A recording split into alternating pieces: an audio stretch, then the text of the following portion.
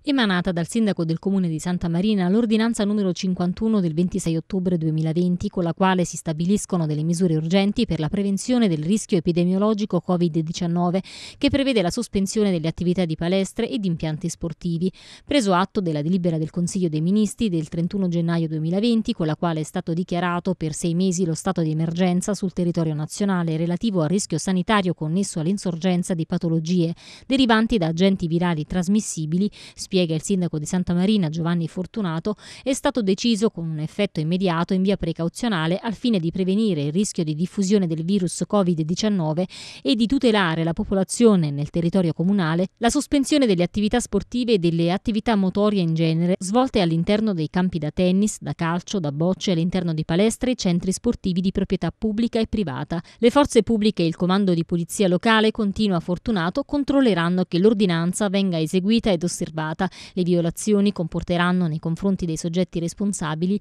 l'applicazione della sanzione pecuniaria da 25 a 500 euro.